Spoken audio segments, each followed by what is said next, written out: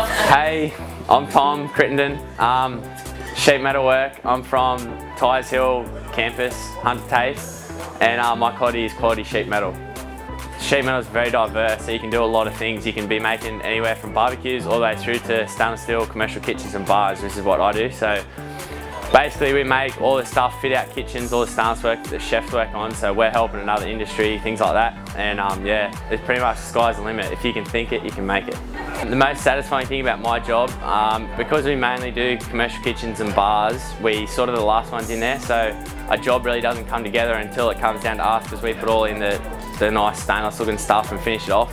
So World Skills has benefited me. Um, I'll be totally honest, in school I really struggled. Maths, English, science, everything no good. I was only ever good with my hands. Um, basically I left school in year 10 to start sheet metal and um, World Skills has sort of given me confidence back in myself again to be able to do the harder things like especially the theory side of it which I never thought I'd be able to do but World Skills has made me realise that um, maybe I'm better, better things and not just my hands.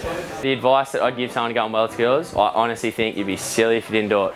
Only because everyone always talks about this World Skills family and you're never going to know unless you're a part of it and why not give it a go? If you have the skills to think you're good and you people tell you you're good, why not pursue it? What's the worst going to happen? You're going to come second, third, fourth, fifth or sixth. Doesn't really matter where you come as long as you had to go at the end of the day.